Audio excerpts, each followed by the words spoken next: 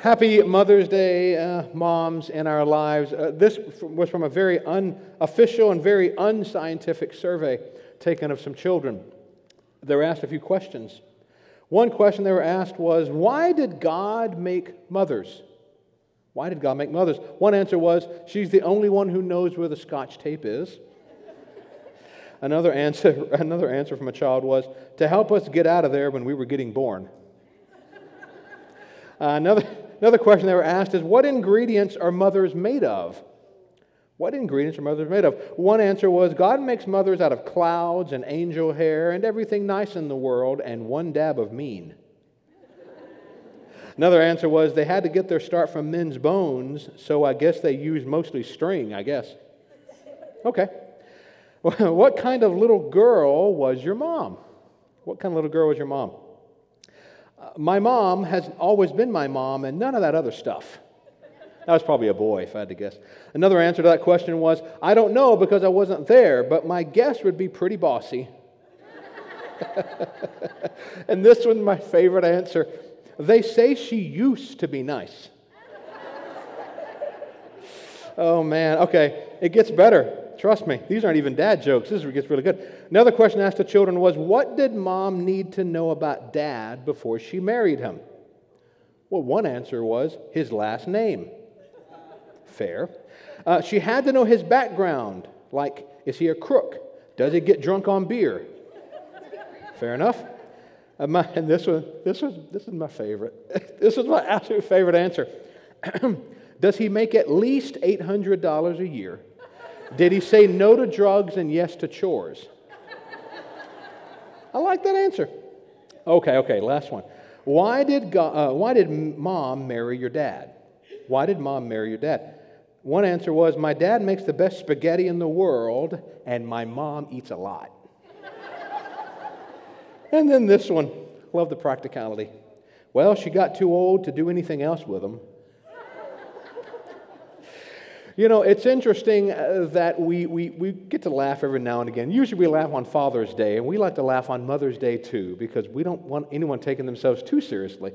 But survey after survey and study after study shows that regardless of religious or political affiliation, get this, nearly 90% of women believe motherhood is the best thing that ever happened to them. Nearly 90%. And yet at the same time, 71% of all mothers believe motherhood is incredibly stressful. I love that. It's, it's both. You know, sometimes the most worthwhile things in life are the hardest. And that, that's what I can see when I see that stat. And yet, we live in a culture and a time when increasingly we tell women to bypass that thing that's going to be what their own studies show is the most significant and best thing that ever happened to them. We tell them to raise a family later, get married later. We tell them to go get careers, get self sustaining. Nothing's wrong with any of that. But then mental health professionals come back and say that the process is making women more miserable and making them more depressed at higher rates than any other time in history. But that stands to reason when nearly 90% of women who have all those things will say motherhood is still the best thing that ever happened to them. So, why the disconnect? Why can't we just kind of get both of those things right? You can decide on your own culturally why we might be that way. But we want to celebrate what M O M means, what mom means. And I've always wanted to do a Mother's Day message about Mary, the mother of Jesus. I always have, and, and I never have until today. And I'm excited about this because Mary was a tour de force. She's raising the Son of God. You might think that was easy. But I'm going to point out that that was a lot harder than we sometimes give her credit for.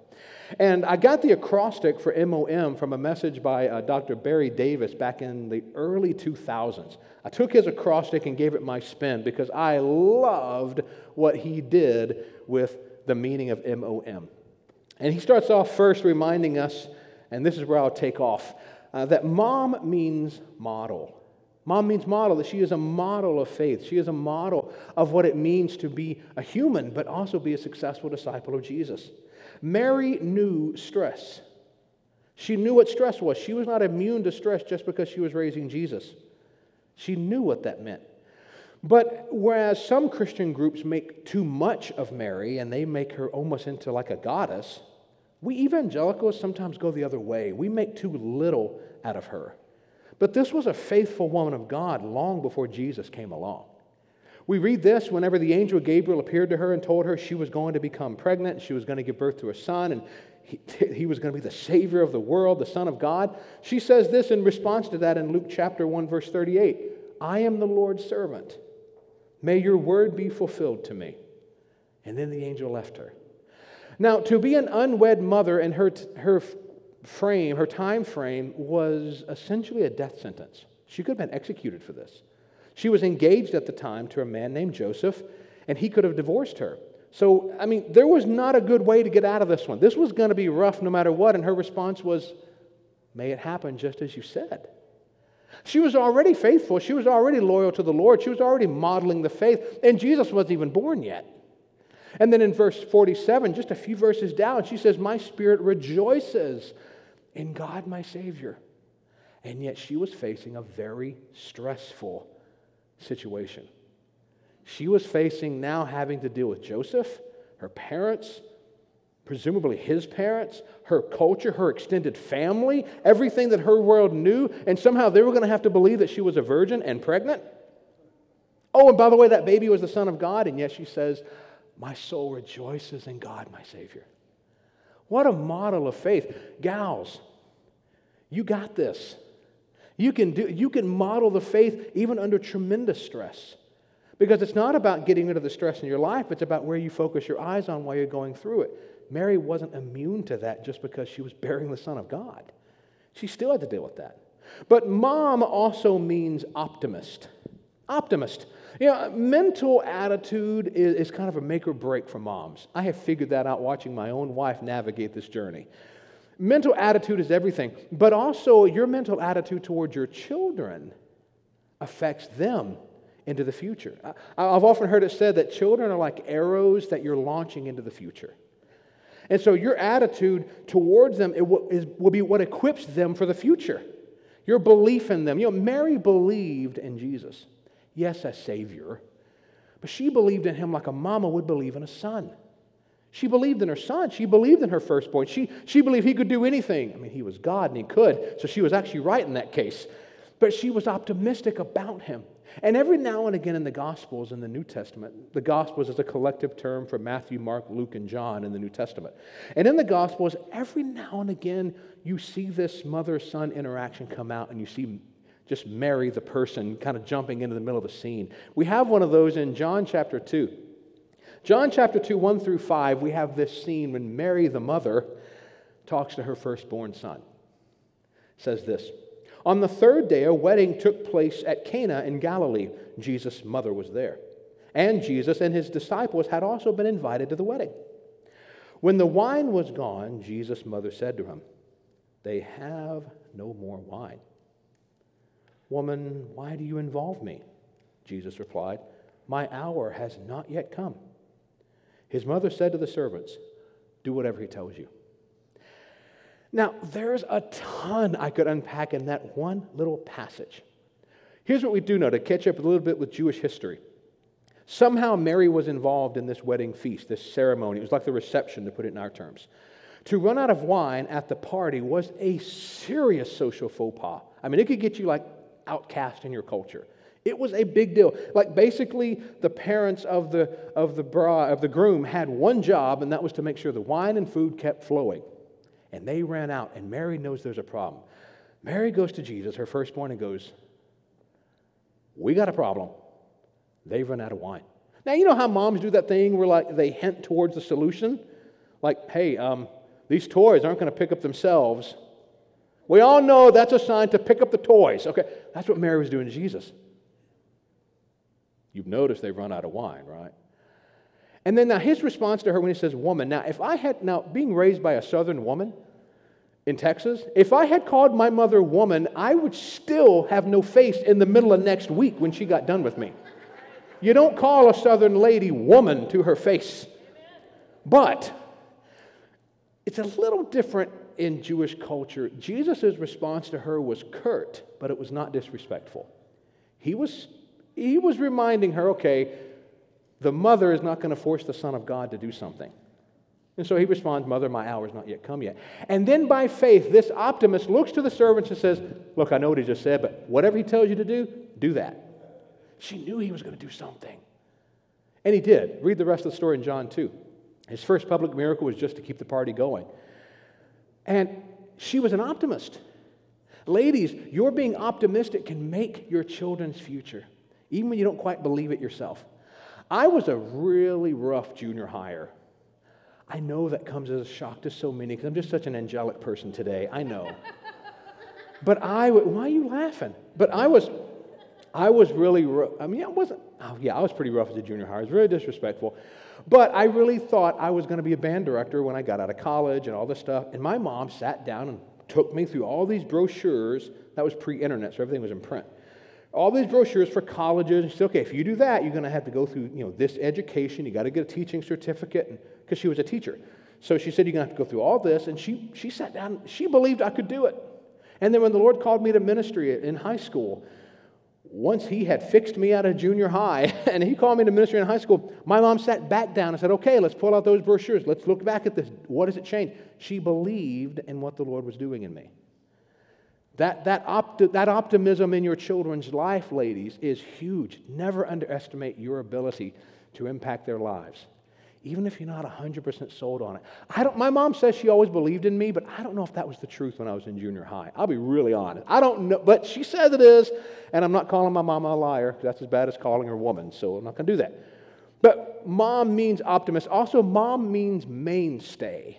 Mainstay. We, we don't use mainstay a whole lot in the English language, but it is an English word. Mainstay means this it's a person or thing that acts as a chief support or part. Like we might say agriculture is the mainstay of the Central Valley, or technology is the mainstay of California. It's also a nautical term referring to the support from the main mast of a ship. So, literally, you couldn't sail a sailboat without a mainstay. And doesn't that just describe a mom so well? I mean, we all make the joke, at least most people I know tend to make this joke. We would all be dead if it wasn't for our mothers saying, Don't do that. Don't jump off the roof of the house. You cannot survive this fall without breaking your leg. You're going to break your neck. How many times do moms say that? We, all, we would all be dead if it wasn't for our mothers. But also just their faith in our lives, the, the, the faith you can give to your children, being that mainstay. Mary was a mainstay in Jesus' life. Well, one reason I love the series The Chosen so much is it shows this human relationship between Mary and Jesus. It shows the mother. Because sometimes we just want her to be so perfect that we can't relate to her, or we want her to be so incredibly human that we forget that this was a champion of faith long before Jesus ever came on the scene. But we have another one of these scenes where we see the mom and the son when Jesus is actually on the cross. And in John 19 25, it says this.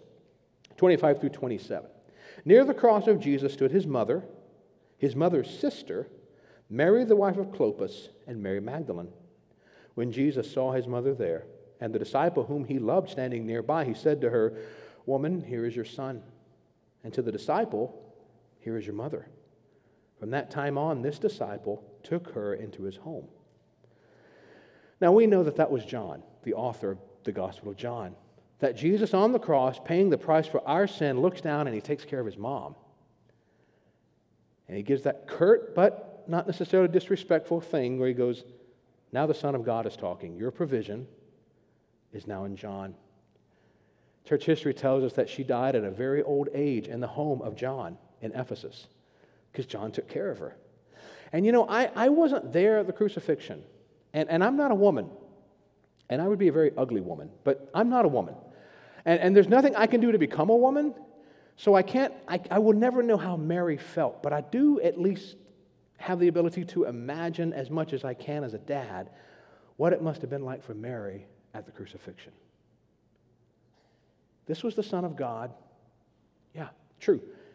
This was her baby. This was her firstborn. This was the one the angel prophesied about. This was the one she told Joseph about. This was the one she held in her arms. This was her baby that she nursed. She taught him how to use a spoon. She changed his diaper. She taught him how to clothe himself. She, she, taught, she taught him how to speak. She was there when he scraped his knee, and she was the one that kissed it and made it all better. She was the one person on the face of the earth for all time that little boy Jesus would look up to her with those deep brown eyes and black hair and olive skin, he'd look at her and say, Ema, I love you, Ema. And she's watching him die. I don't know how she felt. And I don't know, the Bible doesn't say this part, but I would imagine she stayed there until he drew his last breath, until her baby needed her no more. And then he's put in the tomb, he rises from the dead. 40 days later, the ascension happens. Now we're on the day of Pentecost, it's the birthday of the church. Scripture says all these disciples are gathered together in this upper room waiting for the arrival of the Holy Spirit. And then you have this little tag in Acts chapter 1, verse 14. Most people read it so fast when you go through your daily Bible reading that you just kind of skip over this. Why don't you check this out? Jesus is off the scene now, he's back in heaven. They, being all these disciples, joined together constantly in prayer along with the women and, she singled out here, Mary, the mother of Jesus and with his brothers. See, Scripture tells us in a few spots that Mary and Joseph had other children. These other children didn't believe in Jesus as the Messiah. But after the resurrection, they did. We actually have one of their writings in the New Testament, the son of Joseph and Mary. That'd be Jesus' half brother. It's the book of James in the New Testament. He grew up with Jesus, but didn't believe in him until after the resurrection. But Mary was there. And I, I can't prove it in the Bible, but looking at her life, I would imagine those brothers and sisters of Jesus believed in him as much because of her as Jesus. That it was her witness, it was her testimony, it was her saying, No, I know where he came from. I was there when the angel gave me the message. I, I, I, I, can't prove it. I can't prove it in the Bible, but I just can't help but think to look at her life that she did that. That she was a spiritual mom to the early church that she was the spiritual mom that blessed others and would tell that story over and over and over again. You know, they didn't celebrate Christmas the way we did. That's a few centuries after Mary's time. But I do wonder if people ever came up and said, Mary, tell us, tell us again what the angel said. Tell us what you heard that night Jesus was born. What was it like to see him alive again? I mean, that was his mom. Wouldn't you want to know that? And she, at this point in her life, in her older years, had now become a spiritual mom to all these early believers.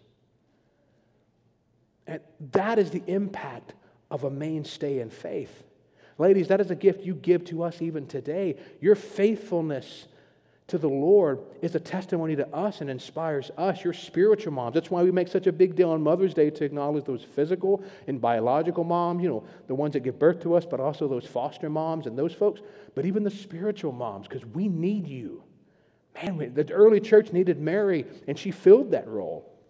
And we need you. We have the honor today of blessing these MOMs in our lives, blessing these moms. For you, for you physical, biological moms, you can do this and you can rock this. I mean, we oftentimes use this language of, you know, it takes a village and we want to be part of that. But I want to make sure you understand something. Moms, we're not in any way trying to imply you can't do this. You moms have been rocking this mothering thing for a long time. God made you to do this. He created you to do this. We guys can't. You can do this. You got this. And you can rock this. I, I would suggest never question your ability to raise your children. Question any system that makes you doubt it. God made you for this, and we're so grateful for what you have done in our lives. You can do this, and we're cheering you on, especially as guys, because goodness knows we sure can't. We can't be moms. We need you. Spiritual moms, you get that role of being that MOM in our lives. Maybe you're not connected to us biologically. Maybe you didn't adopt us. But boy, you can spiritually adopt us. And we have so many. I'm looking around this congregation and I'm looking at so many of these spiritual moms and I even see some of you looking around like saying, Yeah, that's one. And yeah, yeah, thank you for being a spiritual mom. Thank you for, for loving us, for taking that place, for filling it. We have so many uh, ladies who function like spiritual moms in our children's ministry and in our student ministry. What a gift you're giving to the next generation to be that mainstay in their life. But on a real practical note, I want to encourage everyone to write a note of thanks to these women. You know, give flowers to people while they're still alive and able to enjoy them. You know, uh, tell them thank you. You say, Joel, I'm not great with words. Look, just saying thank you is powerful. Just to say that, to write that. I'm a big fan of writing because something, it takes time to write something. And you don't know, maybe, maybe it's a spiritual mom, you don't know her address. Drop it off in our office, we'll find a way to give it to her. Or you just walk up and just put it in her hand.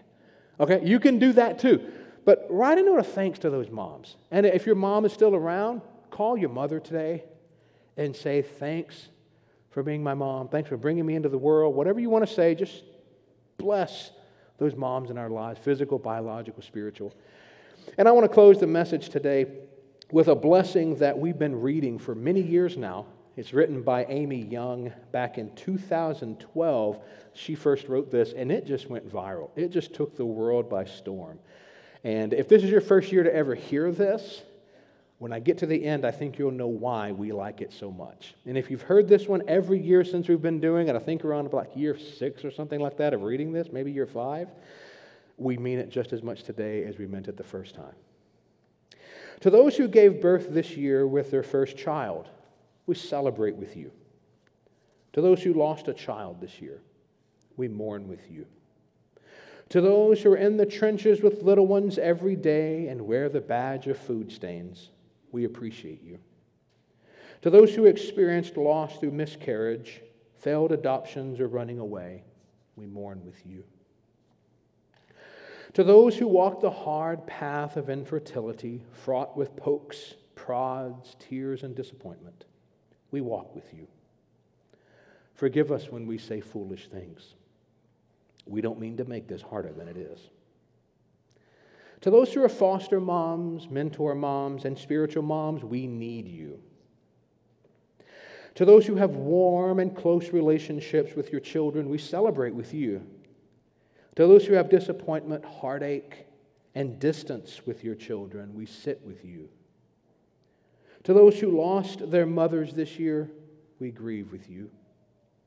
To those who experienced abuse at the hands of your own mother, we acknowledge your experience, for there are no words. To those who lived through driving tests, medical tests, and the overall testing of motherhood, we are better for having you in our midst. To those who have aborted children, we remember them and you on this day. To those who are single and long to be married, and long to be mothering children of your own, we mourn that life has not turned out the way you longed for it to be.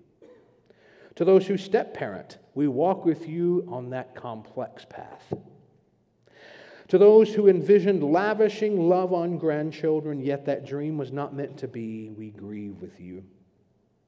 To those who will have emptier nest in the coming year, we grieve and rejoice with you. To those who have placed children up for adoption, we commend you for your selflessness, and we remember how you hold that child in your heart. And to those who are pregnant with new life, both expected and surprising, we anticipate with you. This Mother's Day, we walk with you. Mothering is not for the faint of heart, and we have some real warriors in our midst. Today, we remember you, we celebrate you, we're grateful for you. Happy Mother's Day.